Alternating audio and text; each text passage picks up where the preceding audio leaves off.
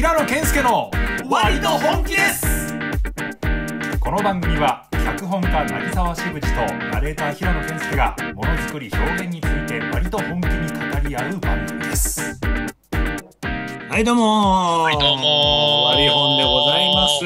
ワリホンでござざいます。え、順風男女の平野健介です。はい、投げ沢しぶでございます。よろしくお願いします。よろしくお願いいたします。はい、2月の第2週ですね。第2週でございます。はい、えー建国記念日が2月の11日ああ、ですそうですね。おめでとうございます。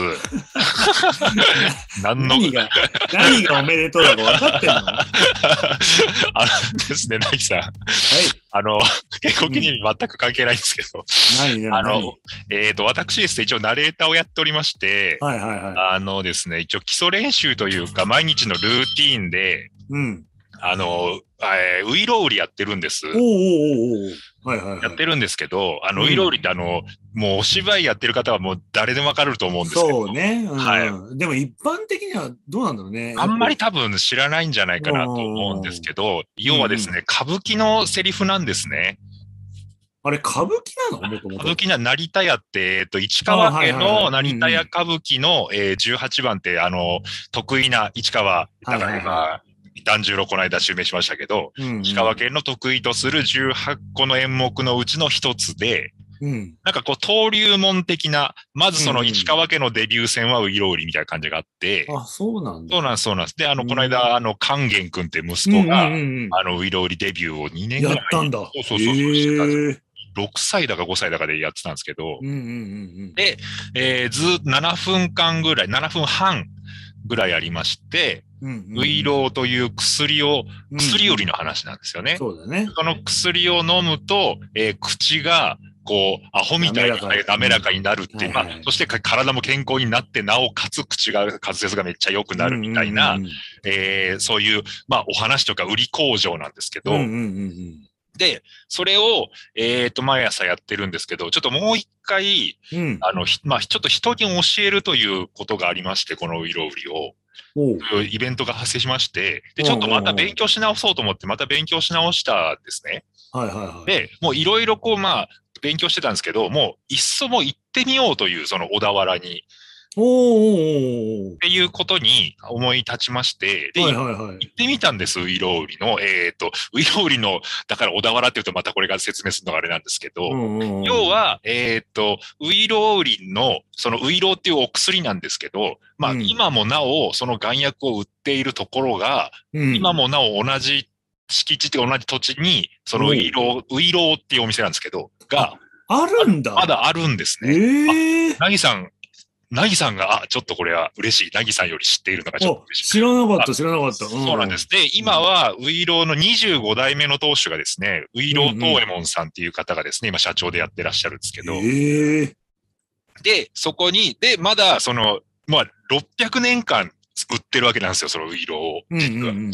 600年間、その、ウイローと、えー、丸薬の方のウイローと、あとお菓子の方のウイローもありまして、まあ、ちょっとはいはいはい。ややこしいんですけど、それをうんうん。あの600年間変わらない製法で、その、うんうん。ずっと売っていると。で、お菓子の方は通販してるんですけど、丸薬の方は、うん。えーもう対面販売しかしてないんですよ。ええだからそこに行かないと買えないっていう感じで、で、ウイローの、まあ、私費というか、その、なぎさん暗記とかしました？ウイローに。ええ暗記まではしてないな。なんか、いや、言っても俺はさ、うんあの、その、ちゃんとした養成所とかは行ってないから、一応知ってはいるけど、なるほど、なるほど、それ。をそんなしっかり取り組んだことは全然ない。そうだったんですうんね。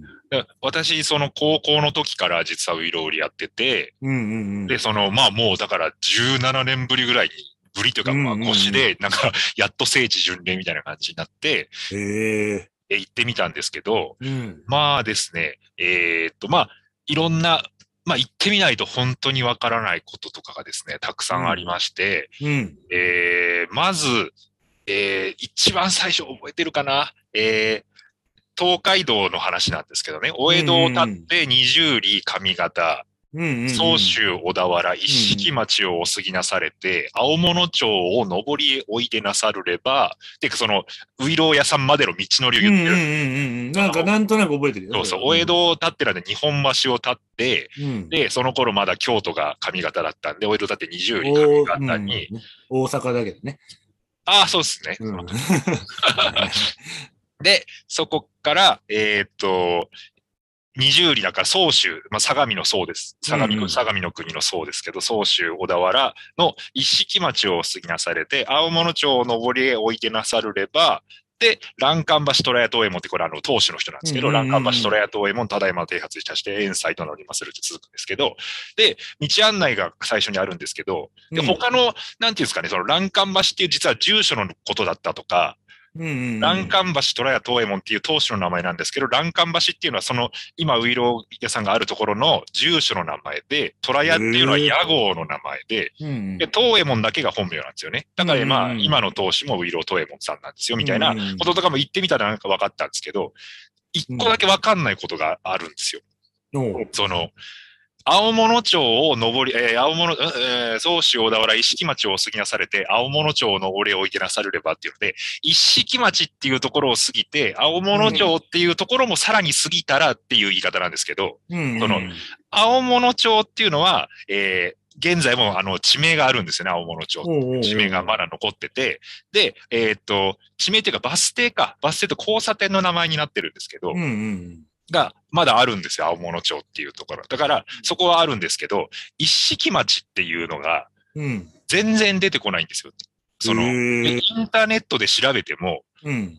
一切出てこなくて、私これうん15年ぐらい前からネットで調べてるんですけど、全然情報が出てこないんですよ。一色町についての。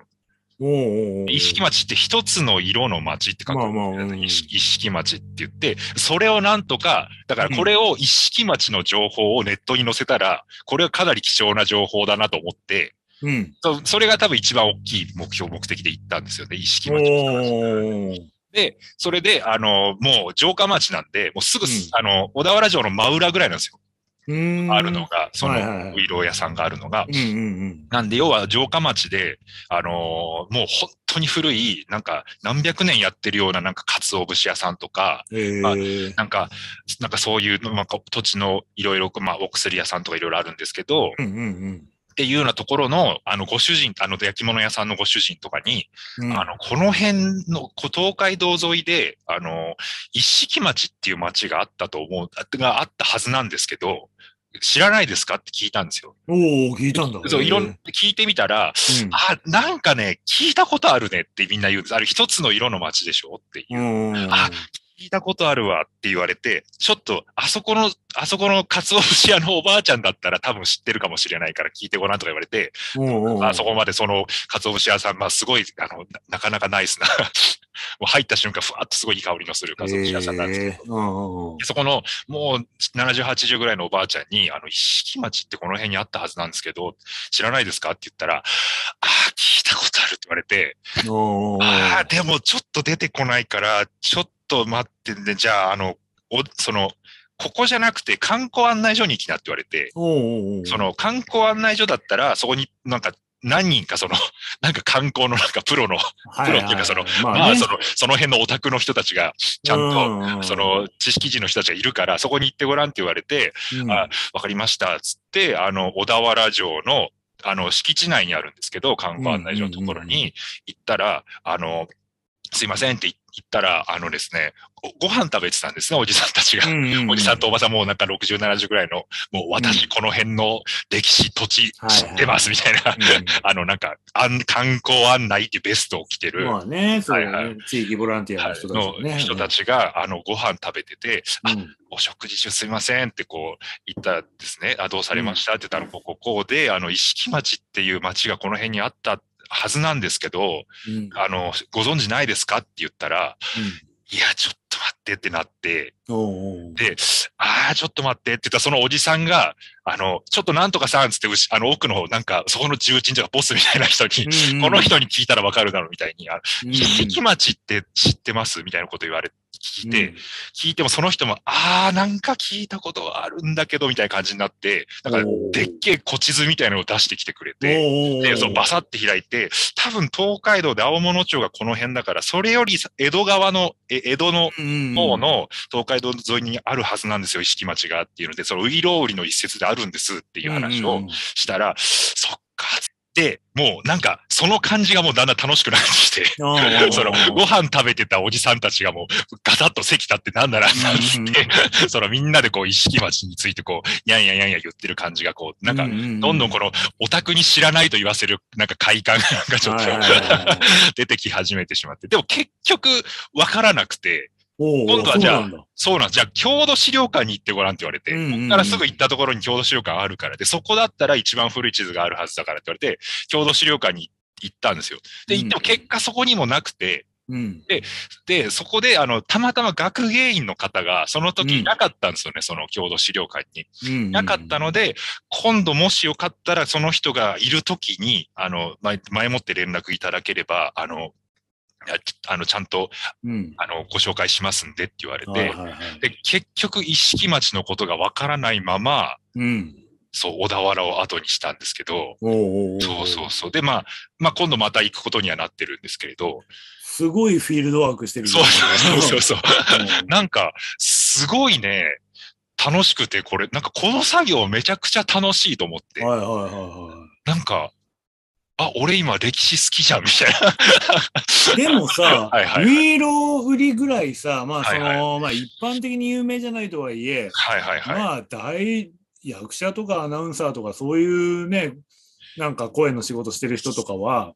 大体みんな知ってるじゃない？ウィーロウリなんてそうそうそうしかも、ウィーロウリ自体がそんな歌舞伎に由来するものなんだとしたら、うんうん相当いろんな人が今まで、うん。うん。あの、そのね、地名も気になってたはずなのに、全然じゃあ聞かれたことなかったのかね、今まで。なんか、それが郷土資料館のその、まあ、えっ、と、ジムのおばちゃんが、うん。あ、前もなんかそう言ってる人来たことあるって言ってああ、やて、あ、っぱそうなんだ。やっぱそう。うんなんか前もそれ、一色町でって来たことあるみたいなことが言ってて、あ、やっぱ気になった人いたんだって言って、でもやっぱり出てないんですよね。へえ。どう、なんでだろうと思って。だそこの地図も見たんですけど、そもそも成立が1300年とか1400年、あ、そんなことない。1600年か。1600年代なんで、江戸時代とかなんて、享保3年なんですよ。はいはいはい。なんで、だから、まあ、その時にはあったのかとか、あともしかしたら町の名前じゃないんじゃないかみたいな、なんか、まあまあね。お店屋さんのことを言ってるんじゃないかみたいなとか、うんうん。なんかいろいろ、なんか文学座の、なんか、あの、ウイロウリとか知ってる、あの後輩にちょっといろいろ聞いたんですけど、うん、おうおうおうなんかね、でちょっと、で、すごい面白かったですね。なんで、ぜひぜひ、いや、すごいね、それは。えー、でも、町の名前って本当に、あの、その、さっきも言ってたけど、バス停とか、あと、その電柱にちょろっとついてるのとかで残ってるだけで、うん。全然今は残ってないっていう地名結構あるんだよねあ。、そうなんですね。うん、だからあの、俺が住んでるあたりも、はいはいはいえっはい。と、おじいちゃん、おばあちゃんはこう呼ぶけど、今はそんな呼び方誰もしないみたいなのが、はいはい東京。でもあったりするんだよね。はいはいはい。あ、そうなのか。いや、やっぱ地名ってそんな残んないんですね。なんか、青物町は残ってるのになっていうのがね。なんかさ、あのーよく言うのは、はいはいはい。あのーまあね、それはちょっと、よ、な、あんまりよく思ってない人の言い方だけど、はいはいはい。地名ってやっぱね、どんどんはいはい面白くなくなっていくものらしいんだよね。どういうことですか？面つ白くないまり、行政とかの都合で、はいはいはい。例えばだけど、そうだな、えっ、と、もともとはいはいはい。全部個別の違う名前があったのに、はいはいはい。えー、阿佐ヶ谷南とか、阿佐ヶ谷北っていうふうに、わかりやすくしたいから。そうそうそうそう。くくられちゃうのよ。そのはいはいはい東西南北でくくったりだとか、うんうんあと、新何々だとか、ああ、真ね。はいはいはいはい、はいそういうのでくくられちゃうのって、その元の地名を消して、うん上からなんかなぞってそういうなんかそういう地名にしちゃうっていうのはだからその、うん今だとそのシーンとかだけど昔だったらもっとなんか違う形で多分変えていくんだろうねどんどん。そうなんですね。ちょっと、今度行ってみて、この続報をね、ぜひそのウイローマニアたちにウイロマニアたちにね ね、ちょっとね、シェアしたいところなんですけど、ね。まあうん一体何人がそのオープニングの部分になんか疑問を持ってたかってことだよねもうね。まあ、街、こういう街があったよって言ったら別にそれまでなんですけどね。なんか、だどこにも出てないってなるとちょっと知りたくなりますよね。なんかねまあね一式町なんてしかもありそうだしね。そうそうそうなんですよね。ちょっと続報をぜひ待っていただきたい。はい。はい。ええ珍しく平野くんから歴史的な話題が。ね先週はなぎさんからなんか女の子の話題が出て、今週はいはは、い平野からなんか2月波乱ですね。平ね はいななぎ女平野歴史っていうことわざができそうだね。なんか、どういうこと？天変地異みたいな。ではでは、ありがとうございました。また来週。また来週。はい。渚志口と平野健介の割と本気です